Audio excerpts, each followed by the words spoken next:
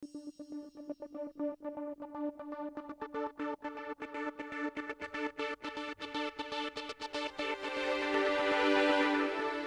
confirmed number of coronavirus cases in Los Angeles County comes to 634,849. The confirmed number of deaths reaches 8,931. Here in Torrance, the total number of confirmed cases is 3,165, with total confirmed deaths at 79.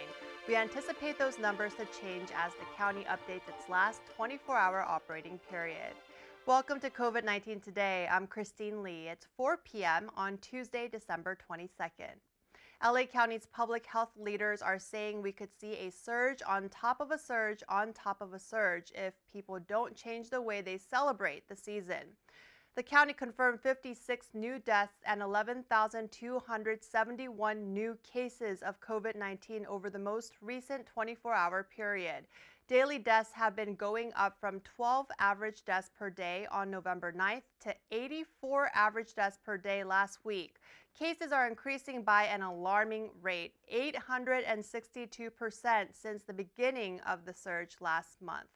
One of the most sobering facts is that, again, we are seeing the highest number of COVID 19 hospitalizations reported in a single day 5,709. Since November 9th, the daily average hospitalizations of those with the coronavirus increased more than 650 percent. Hospitals are already over capacity throughout LA County, forcing high quality medical care to be compromised as frontline workers are getting stretched too thin. Many of these brave individuals are also getting COVID 19 as well. This week, 2,191 healthcare workers tested positive for the virus. Over the past three weeks, there have been more than 5,500 new cases among them. Daily case rates shot up for this group from 40 in early November to 313 last week. County leaders are urging the public to help stop the spread by staying home and not mingling with others over Christmas. That means no in person gatherings with family members who don't live together. Public health officials say while they are encouraged that the vaccines have arrived, it will take many months to immunize the entire population of LA County, and everyone's actions have a huge impact. LA County warns residents about vaccine scams that are circulating. It tweeted a warning in both English and Spanish, saying it's a scam if someone offers to sell you the COVID 19 vaccine or a chance to get vaccinated before it's your turn. Unfortunately, scammers are using robocalls, social media posts, and emails to take advantage of the anxiety, confusion, and fear that many people have about COVID 19. The county reminds LA residents that they will receive the vaccine for free regardless of immigration status when it becomes available to them. The Federal Trade Commission echoes the county's message saying you can't pay for early access to the vaccine. And the U.S. Food and Drug Administration has been issuing warning letters to firms selling fraudulent products since the pandemic began. It lists 16 pages of companies that received these letters that claim to prevent diagnose, or treat COVID 19. The FDA says they're continuing to actively monitor the situation and asks anyone who comes across a potential scam to report it at FDA.gov. Concerns over a new strain of the coronavirus in the United Kingdom has more than 40 countries, including Canada, halting travel from the country. Here in the U.S., New York Governor Andrew Cuomo says British Airways, Delta, and Virgin Atlantic have voluntarily agreed to test travelers from the UK for coronavirus before departing for New York.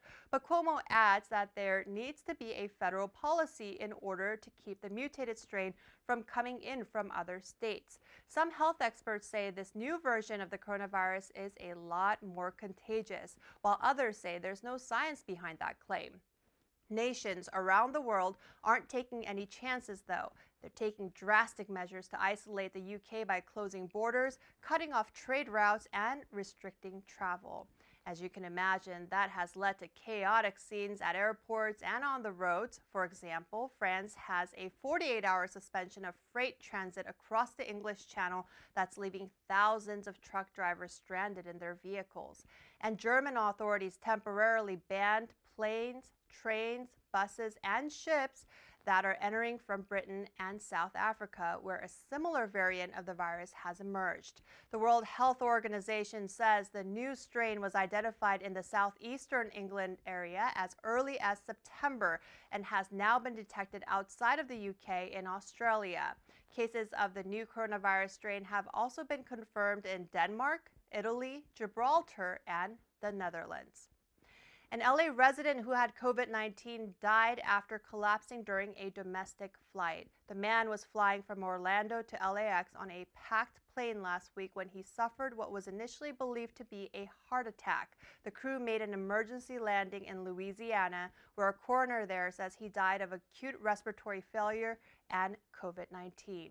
The United Airlines passenger was 69 years old and passed away on December 14th. Since then, details emerged from other passengers on this flight, including one woman who tweeted that he was shaking and sweating while boarding the plane.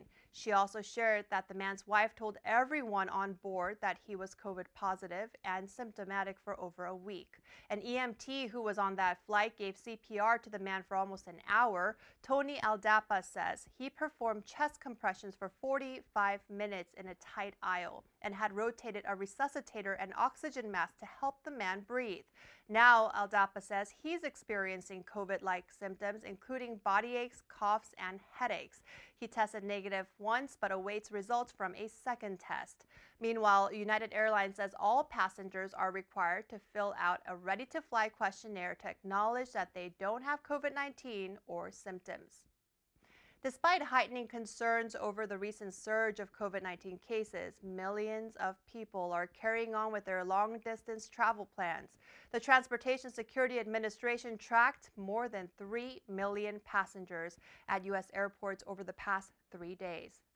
Here at LAX, officials expect an average of 920 flights a day through January 4th. That's up from 846 daily flights around Thanksgiving. LA County Public Health Director Dr. Barbara Ferrer says we really can't afford to repeat the mistakes of Thanksgiving because another spike in cases will be disastrous for our hospital system and ultimately mean many more people simply won't be with us in 2021. Hospitals are already over capacity, and she adds that they will likely have to make some very dif difficult decisions in the coming weeks about which patients will get critical care. Congress passed a historic stimulus plan worth $2.3 trillion last night. The bill includes a $900 billion pandemic relief package that includes $600 stimulus checks for most American families. It also includes a lot of unrelated provisions, such as keeping the government funded, halting surprise medical billing, creating new Smithsonian museums dedicated to Latinos and women, approving additional funding toward the distribution of COVID 19 vaccines, testing and tracing, and the popular Paycheck Protection Program for businesses. The 5,593 page bill is thought to be the largest single piece of legislation in congressional history. Months of negotiations led to this deal, which now awaits President Donald Trump's signature. This bill marks the first attempt to respond to the COVID 19 pandemic since April, with the $600 payments going to American adults earning up to $75,000 and supplemental federal unemployment benefits of $300 per week for an additional 11 weeks. It's pretty much half the amount we saw from the first coronavirus relief package, which was approved by Congress in March. Treasury Secretary Steven Mnuchin says some of the payments to individuals could go out as early as next week.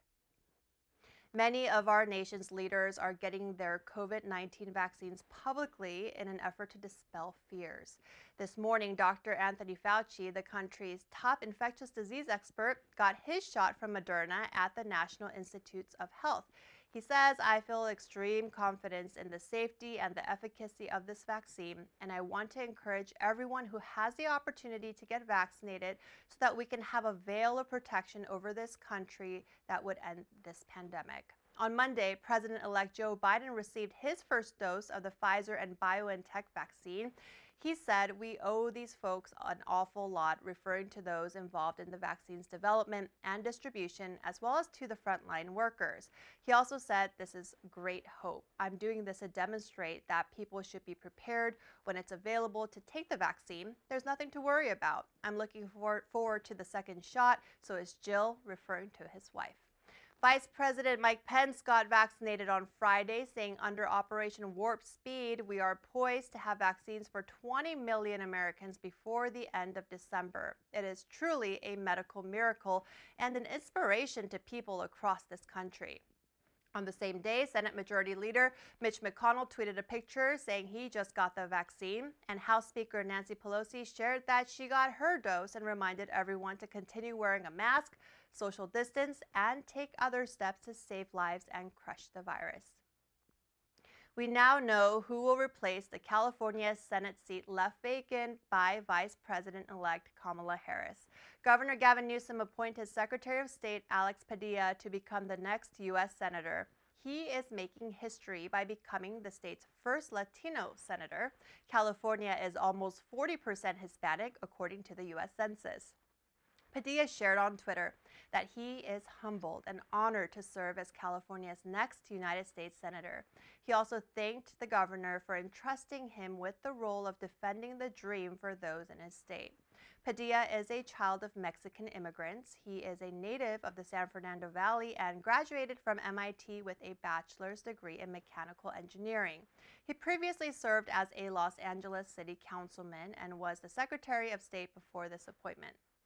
Governor Newsom says through his tenacity, integrity, smarts, and grit, California is gaining a tested fighter in their corner who will be a fierce ally in D.C., lifting up our state's values and making sure we secure the critical resources to emerge stronger from this pandemic. Padilla will fill the seat until 2022, when the next election will be held for the six year term. LA County Supervisor Janice Hahn announced a new program to help support struggling families and businesses. She's dedicating $330,000 to get food on the table for those who have lost their jobs and wages. The funding is being distributed to 10 nonprofits across the 4th District, which includes Torrance. The plan is to have the organizations purchase gift cards with the provided funding from local restaurants in their communities and distribute them to families. Participating organizations include the Volunteer Center South Bay Harbor Long Beach, Feed and Be Fed in San Pedro, and SBCC South Bay Center for Counseling. Of the $330,000, Hahn's office has allocated $300,000 for restaurant gift cards. The remaining $30,000 will be donated to the nonprofits for their work identifying the families in need and distributing the gift cards. The participating nonprofits are still in the process of selecting restaurants to purchase gift cards from. Small restaurants that don't offer gift cards will be given specially designed vouchers. This program is being funded through discretionary funding allocated to Supervisor Hahn's office. Well, today is a no burn day in parts of Los Angeles County. The South Coast Air Quality Management District issued this alert through 11:59 p.m. for all those living in the South Coast Air Basin, which includes non-desert portions of LA County. Officials remind residents in these areas that burning wood in their fireplaces or any indoor or outdoor wood burning device is prohibited during this time. The no burn rule also includes manufactured fire logs, such as those made from paper or wax. The goal is to protect public health when levels of fine particulate air pollution in the region are forecast to be high. Smoke from wood burning can cause health issues, including asthma attacks and other respiratory problems. It can also increase emergency room visits and hospitalizations, which we are trying to avoid with the recent COVID surge. The Torrance City Council will not meet tonight. It's a previously scheduled dark night. The next City Council meeting will be held next year on Tuesday, January 12th. Well, before we go at the end of each program, we like to share stories from our community, feel good pictures, images, and videos that remind us of how resilient our community is and how Torrance truly cares. Well, a local librarian is helping to cheer up a patron by finding some priceless stories from the past. Phil Ross, who has been working at the Torrance Library since 1981, says he got a call from a woman who used to live in Torrance during the 1950s. She wanted to find some old newspaper articles about her from the Torrance Herald, which used to be the main newspaper at the time. She had polio at age seven and was paralyzed. The paper wrote a plea for community members to send her letters of encouragement. Well, Phil spent about two weeks digging up as much information as he could for this special person. He learned about her battle with polio and found out that she received more than a thousand handwritten pieces of mail from others who read these newspaper articles and were touched by her story. He found every article he could and sent them to the now 75 year old who lives about an hour away. She was so grateful for Phil's help and kindness that she donated $150 along with a very nice letter of gratitude to the library. What a story. Phil says he has occasionally received thank you letters from patrons, but being there for someone during a time like this was truly an unforgettable experience. Now, if you have a great story to share, email us at covid19today at torranceca.gov. We'd love to hear from you. Well, that's our update for COVID 19 today. Be sure to tune in tomorrow as Jin Chun brings you the latest. Be safe, stay healthy, and thanks for tuning in. We'll see you next time.